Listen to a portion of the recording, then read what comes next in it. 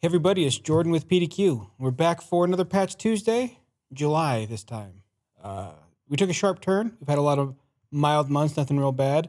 This month, 132 patches closed, nine critical, and six, six that are already exploited out in the wild. That just feels like uh, it's an egregious number.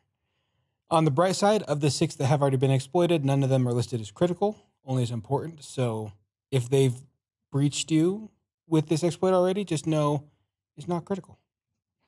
So going into it, we're going to dive into a couple of 9.8s first. The first one being the 2023 uh, 32057. This is the message queue. This is one that we had last month as well. Comes in 9.8. It's a remote attack vector, no user action required, no privileges needed. Uh, the reason it is listed as less likely to be exploited is because the message queuing system is not installed by default. So if you haven't used that anywhere, you're safe. You don't need to worry about anything. If you're not sure if you have, you can either do a search on your systems for the message queuing service, or you can look to see if it is listening listening on TCP port 1801. Uh, for the other one, this one's 35365. This is the other 9.8.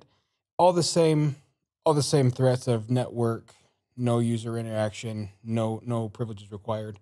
Uh, but this one is basically the RAS, uh, the remote access server. So if you're not using that, that is another one that's not on by default. You're safe. If you are, if you have any of them that are using the remoting and remote access server, pretty sure I got that, then uh, you're you're uh, probably need to patch sooner than later. Uh, when coming up on the third one, it was interesting because I figured we got the 9.8s. I'll get one that has already been exploited, and the one I went with was the 24932, which is only a 6.2 on the CVSS, which means they have to be local and it needs a high level of admin privilege. They have to be admins, basically.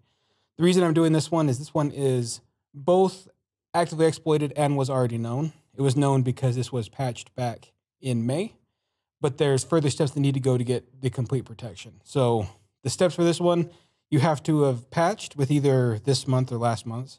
And then you also have to go through and you have to make changes to uh, boot manager because this is hacks the secure boot. Uh, so either if you're using OEM or you download, you need to download the latest media for that one instead of using the current ones. If you are building your own custom ones, you want to rebuild those and exclude the the types that are broken. There is a link for that, which we'll put there. It'll give you the steps that you can go through and you can fix your boot media to make sure that one's secure. So that one is technically pretty low risk, 6.2 and it's local only but just because it's been around for so long and it requires steps past just patching, I figure it's worth bringing up. And that's pretty much everything we got for Patch Tuesday. Uh, patch your systems. If you're automating it, hopefully you're using PDQ deploy and inventory because we're awesome. Uh, for PDQ.com, I'm Jordan.